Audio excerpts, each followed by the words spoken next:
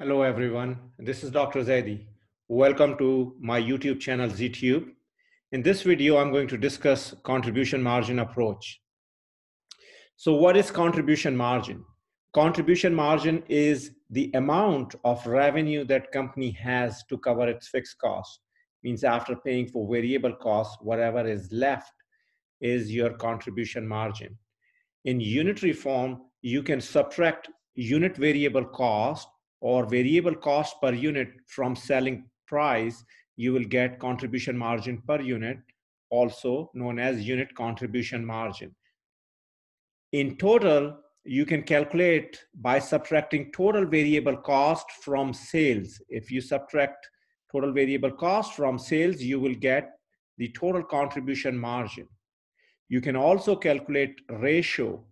The ratios can be calculated by dividing contribution margin by sales or by unit contribution margin by selling price. So the ratio is calculated when you divide contribution margin by sales or unit contribution margin by selling price. This should give you the same ratios. In the algebraic equation form, UCM or contribution margin per unit equals to selling price minus variable cost per unit or unit variable cost. In total, its contribution margin equals to sales minus total variable cost. Now you can jump back and forth from unitary to total.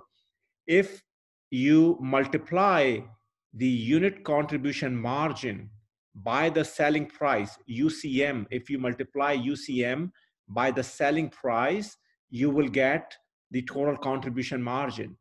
Without calculating total uh, contribution margin from the equation, in the middle, which is sales minus total variable cost, you can calculate by multiplying selling price by UCM and you get total contribution margin.